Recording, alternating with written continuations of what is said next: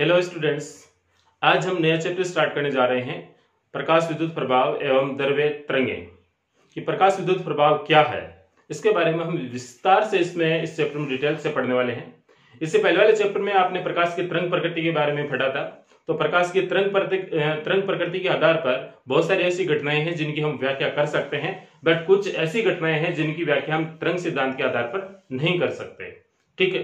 तो उनकी व्याख्या हम इस चैप्टर में करने की कोशिश करेंगे। और उनकी विफलताएँ क्या है, उनकी सफलताएँ क्या उनके बारे में भी हम चर्चा करने वाले हैं। ठीक है? लेकिन मेन मुद्दा हमारे सामने यह है कि प्रकाश विद्युत प्रभाव क्या है? कि प्रकाश विद्युत प्रभाव क्या है? ठीक है? तो इसको समझने के लिए आप देखें कि हमारे पास में कोई एक धात्विक प्लेट है। हमारे पास में कोई एक धात्विक प्लेट है। और इस धात्विक प्लेट है, यानी कि धातु की प्लेट है तो इसमें बहुत सारे क्या होंगे? मुक्त इलेक्ट्रॉन भी होंगे इसमें। इसमें क्या होंगे? मुक्त इलेक्ट्रॉन होंगे। ठीक है? अब यदि हम इस धातु की सतह पर, यदि इस पर कोई विद्युत चुंबकीय तरंगे इस पर आपतित करवाएँ, इलेक्ट्रोमैग्नेटिक वेव्स इस पर आपतित करवाएँ तो इससे इलेक्ट्रॉन तो इससे इलेक्ट्रॉन बाहर निकल जाए। तो इससे इलेक्ट्रॉन क्या हो जाए? बाहर निकल जाए। तो इस प्रभाव को ही हम क्या कहते हैं? विद्युत, प्रकाश विद्युत प्रभाव कहते हैं। बट ये जो डेफिनेशन है वो क्या है? अधूरी है। तो ये वाली जो डेफिनेशन है वो क्या है? अधूरी। हम इसलिए कह सकते हैं कि जब हमने देखा कि इस पर यदि हम 50 की आवर्ती यानी कि 50 आवर्ती यानी 50 हर्ट्ज की आवृत्ति यदि इस पर हम अप्लाई करें तो इससे इलेक्ट्रॉन उत्सर्जित हो रहे हैं। बट अब इस पर यदि हम आवर्ती का मान यदि हम 40 कर दें, यानी कि जो इस पर विद्युत चुंबकीय तरंगें आपतित हो रही थी, यदि उनकी आवर्ती का मान यदि हम 40 हर्ट्ज कर दें तब देखें तो वहाँ से इलेक्ट्रॉन उत्सर्जित नहीं हो रहे थे। ठीक है? तो कहने का मतलब यहाँ पर यह है कि इस धातु की प्लेट से, इस धातु की प्लेट से इलेक्ट्रॉनों को बाहर निकलवाने के लिए हमें एक उचित आवर्ती की एक तरंग की आवश्यकता होगी। उचित आवर्ती की विद्युत चुंबकीय तरंग होनी चाहिए, चाहे वो प्रकाश के रूप में हो, चाहे वो रेडियो तरंगे हो, चाहे सूक्ष्म तरंगे हो, चाहे और कोई अन्य तरंगे हो। ठीक है? तो इस प्रकार से हम यहाँ पर हमें यह समझना पड़ेगा कि इस धातु की सतह से, इस धातु की प्लेट से इलेक्ट्रॉनों को बाहर निकलवाने के लिए हमें जो इस पर जो हम विद्युत चुंबकीय तरंग जो आपतित करवा रहे हैं तो उसकी जो आवर्ती है, वो क्या है? इंपॉर्टेंट है। उसकी आवर्ती क्या है? इंपॉर्टेंट है। यानी कि एक निश्चित न्यूनतम आवर्ती का यदि इस पर प्रकाश डालें या एक निश्चित न्यूनतम आवर्ती की यदि हम कोई विद्युत चुंबकीय तरंग उस पर आपतित करवाए तो ही इसकी सतह से इलेक्ट्रॉन मुक्त होंगे अन्यथा नहीं होंगे। वैसे हम जानते हैं कि हमारे पास में मान लीजिए कि कोई भी धातु की सतह है या धातु की प्लेट है तो उसमें बहुत सारे मुक्त इलेक्ट्रॉन होते हैं। उसमें क्या होते हैं? बहुत सारे मुक्त इलेक्ट्रॉन होते हैं। जैसे मान लीजिए कि हमारे पास में कोई एक परमाणु है, इसकी नाभिक है, और उसके नाभिक के बाहर चारों ओर वृत्ताकार कक्षाओं में इलेक्ट्रॉन चक्कर लगाते हैं।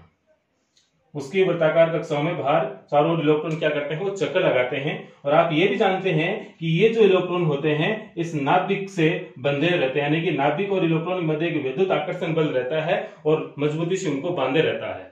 ठीक है? अब हमें इसमें इस इस इलेक्ट्रॉन को यहाँ से बाहर निकालने के लिए, इस इलेक्ट्रॉन को यहाँ से बाहर निकालने के लिए हमें क्या करना पड़ेगा? इस इलेक्ट्रॉन को ऊर्जा देनी पड़ेगी। इस इलेक्ट्रॉन को ऊर्जा देनी पड़ेगी। ऊर्जा देने के तरीके हमारे पास में बहुत सारे हो सकते हैं अलग अलग हो सकते हैं।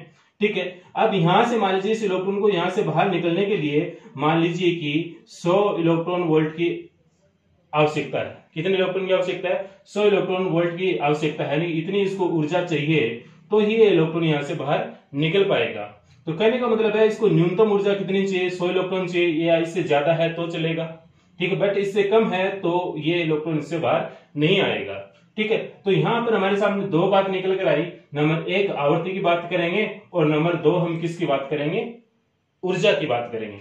यदि आपके पास में किसी भी, यदि विद्युत चुंबकीय तरंग की यदि आपको आवर्ती पता है, यानी कि इसको मैं लिख रहा हूँ न्यू से, न्यू। यदि किसी भी, यदि आपको विद्युत चुंबकीय तरंग की आवर्ती पता है तो उसकी आप ऊर्जा ज्ञात कर सकते हैं। कैसे ज्ञात कर सकते हैं? एच से मल्टीप्लाई करके। H nu H nu is equal to A ठीक है? इस वाली इक्वेशन से। यहाँ पर एच क्या है? प्लांक नियतांक है प्लांक स्थिरांक है, इसका मान आपको पता होना चाहिए। तो कुल मिलाकर बात यहाँ तक आ गई कि किसी भी धातु की स्तर से यदि इलेक्ट्रॉन का उत्सर्जन हो रहा है, वो भी उचित आवृत्ति के साथ, उचित ऊर्जा के साथ है। ठीक है? तो जो इलेक्ट्रॉन का जो उत्सर्जन हो रहा है, उसी घटना को ही हम क्या बोलेंगे? प्रकाश विद्युत प्रभाव। उसी घटना को ही हम क्या बोलेंगे? प्रकाश विद्युत प्रभाव बोलेंगे। ठीक है? इसके बाद में हम कुछ इतिहास की बात कर लेते हैं, कुछ स्टोरी बात कर लेते हैं। ठीक है? सर्वप्रथम अठारह में अठारह में हेड्स नामक के वैज्ञानिक थे। हेड्स ठीक है? हेड्स ने क्या किया कि कैथोड पर, यहाँ पर, उन्हें निर्वाचन लिखा थी यहाँ पर कैथोड है। ठीक है? कैथोड पर उन्होंने क्या किया? अर्ग लैंप की सहायता से, अर्ग लैंप की सहायता से पेराबैंगनी प्रकाश तरंगे यहाँ पर उन्होंने आपतित करवाई। यानी कि प्रकाश किरणें यहाँ पर आपतित करवाई कैथोड पर। तब उन्होंने देखा कि यहाँ पर जो इनके पास में जो परिपथ बना हुआ था, उस परिपथ उस परिपथ में जो धारा है वो सुगमता से प्रवाहित हो रही है। ठीक है? प्रकाश आपतित करवाने पर क्या हो रही है? धारा सुगमता से प्रवाहित हो रही है। इसका मतलब तो ये हुआ कि कुछ ना कुछ तो यहाँ पर इस प्रकाश ने कुछ किया होगा, ठीक है, जो कि धारा में सहायक हुआ है। इसके पश्चात फिर अठारह में, फिर अठारह में होलवॉक्स ने होलवॉक्स ने भी ये एक्सपेरिमेंट किया, उन्होंने भी कैथोड पर ये प्रकाश आपतित करवाया। तब उन्होंने देखा कि ये, इससे क्या है, इलेक्ट्रॉन ज़्यादा निकलने लग गए। ठीक है, फिर उन्होंने एक उदासीन प्लेट थी उदासीन प्लेट पर यदि उन्होंने प्रकाश को आपतित करवाया, उचित आवृत्ति के प्रकाश को आपतित करवाया तो उन्होंने पता किया, ये जो प्लेट है वो क्या होगी धनावेश से आवेशित हो गई। ठीक है, तब उनके विचार में, तब तब उनके दिमाग में विचार आया कि कुछ तो यहाँ पर ऐसा है, यानी कि इन तरंगों में कुछ तो ऐसा है जो इलेक्ट्रॉनों को निकालने में सहायक है। ठीक है? अब आपको एक चीज़ समझ में आ जाना चाहिए कि किसी भी धातु की स्तर पर यदि हम उचित आवृत्ति का प्रकाश आपतित करवाएँ तो वहाँ से इलेक्ट्रॉन उत्सर्जित होंगे। ठीक है? जैसे मान लीजिए कि आपने सोने के जो आभूषण है वो पहन रखे हैं, आपने अंगूठी पहन रखी है, या कुछ कानों में पहन रखा है, या गले में कुछ पहन रखा है, ठीक है? तो अब अब मान लीजिए कि आप जैसे ही बाहर धूप में गए, सूर्य का प्रकाश आपतित हुआ, और आपतित होने पर वहाँ से दात, यानी कि सोने से जो इलेक्ट्रॉन हो निकल कर वायुमंडल में जाएँगे, ठीक है? और ऐसे आप आप लगातार यदि ऐसे धूप में घूम रहे हैं, धूप में घूम रहे हैं तो आपके जो सोने के आभूषण है वो धीरे धीरे क्या होते जाएँगे? कम होते जाएँगे, क्योंकि वहाँ से इलेक्ट्रॉन निकल रहे हैं, बट ऐसा नहीं होता है। बट ऐसा नहीं होगा, नहीं होता है। कोई टेंशन लेने वाली बात नहीं है। क्यों नहीं है? क्योंकि जो सूर्य से आने वाला जो प्रकाश है, उसकी आवृत्ति इतनी नहीं होती कि वह आसानी से आपके सोने से, आपके यानी कि गोल्ड से वो इलेक्ट्रॉन का उत्सर्जन करवा दे। ठीक है?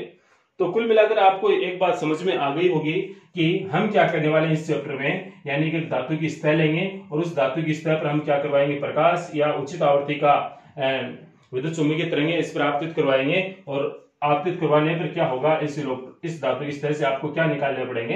इलेक्ट्रॉन निकालना पड़ेगा, यानी कि इलेक्ट्रॉनों का उत्सर्जन करवाना पड़ेगा। ठीक है? तो इलेक्ट्रॉनों को उत्सर्जित करवाने के कई तरीके हो सकते हैं, यानी कि हम धातु की सतह को गर्म भी कर सकते हैं।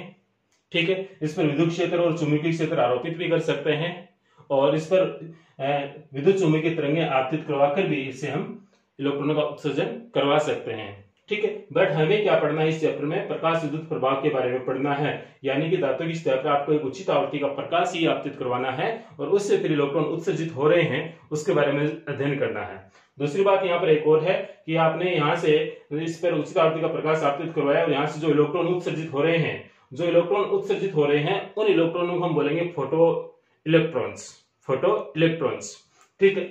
और वैसे यदि आप देखें तो सामान्य परिस्थिति में आपकी जो इलेक्ट्रॉन है, धातु में जो इलेक्ट्रॉन है, वह स्वतंत्रता पूर्वक धातु की सतह में इधर उधर घूम सकते हैं बट इससे बाहर नहीं निकल सकते। क्यों नहीं निकल सकते? जैसे मान लीजिए आपके पास में कोई एक धातु की सतह है ये, और यहाँ पर मान लीजिए एक इलेक्ट्रॉन है। इस इलेक्ट्रॉन ने कुछ चालाकी की, और चालाकी करने के पश्चात ये मान लीजिए यहाँ पर आ गया, इससे बाहर आ गया।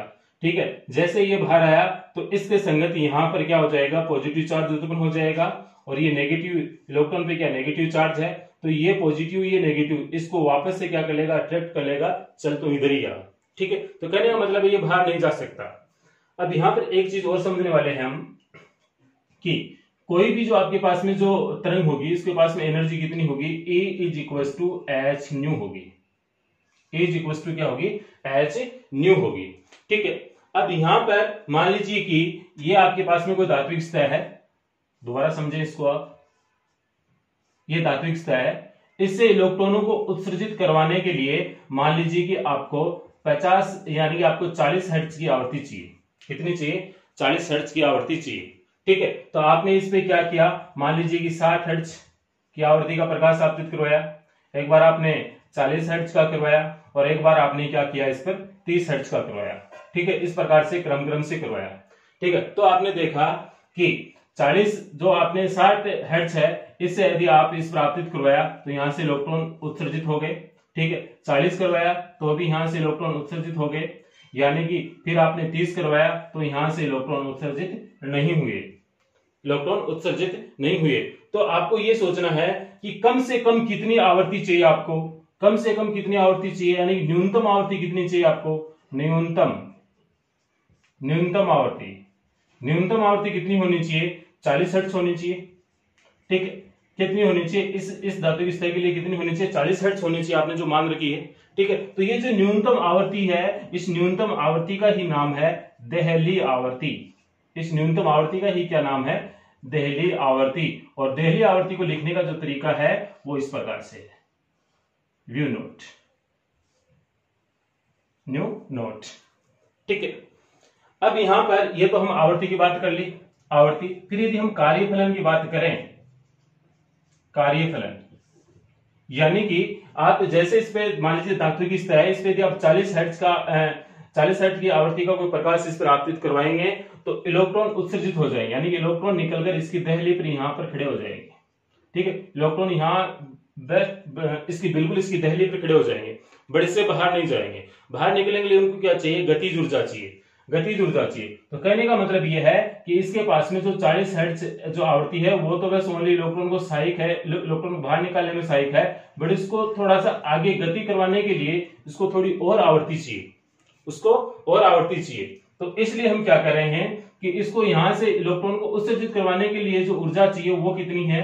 H nu naught H nu naught और फिर उनको एक्स्ट्रा कुछ गति करवाने के लिए कुछ और उसको काइनेटिक एनर्जी चाहिए, यानी कि और एनर्जी चाहिए। जैसे आप सपोज़ कीजिए। आपने मान लीजिए कि इस पर 80 हर्ट्ज की आवर्ती का प्रकाश आपतित करवाया इस धातु स्तर पर। 80 में से जो 40 हर्ट्ज है 80 में से जो 40 हर्ट्ज है, वो तो क्या करेगा? इस इलेक्ट्रॉन को यहाँ से इसकी दहलीज तक लाने का कार्य करेगा, यानी इसको उत्सर्जित करवाएगा। अपनी जगह से इसको क्या करवाएगा? उत्सर्जित करवा देगा। ठीक है? बाकी जो 40 बाकी जो इसके पास में जो 40 हर्ट्ज बचेगी, जो 40 हर्ट्ज जो इसकी आवृत्ति बची है, वो क्या करेगी भाई? बताएँ। वो क्या करेगी? वह इस इलेक्ट्रॉन को गतिज ऊर्जा प्रदान करेगी। वह इस इलेक्ट्रॉन को गतिज ऊर्जा प्रदान करेगी।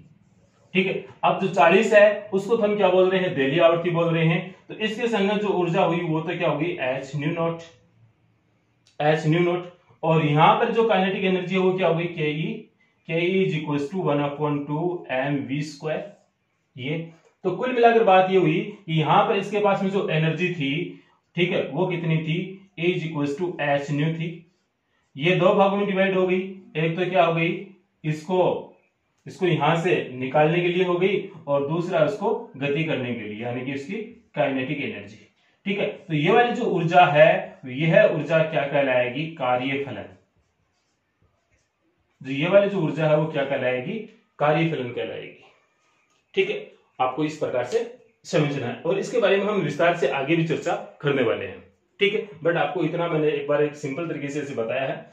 फिर मैं यहाँ पर आप प्रकाश विद्युत प्रभाव की डेफिनेशन लिख रहा हूँ।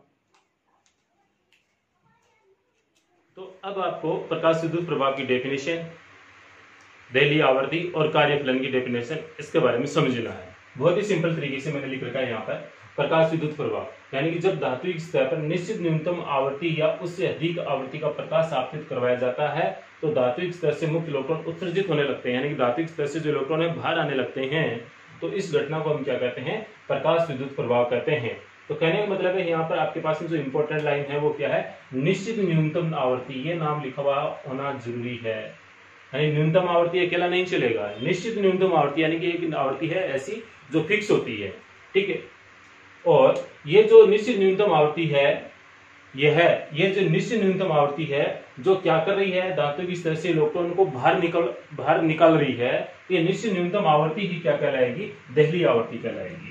यानी कि प्रकाश की वह निश्चित न्यूनतम आवर्ती जिसको धात्विक स्तर पर आपतित करवाने पर मुक्त इलेक्ट्रॉन उत्सर्जित होने लग जाए या हो जाए तो वह आवर्ती ही क्या कहलाती है? दहली आवर्ती कहलाती है।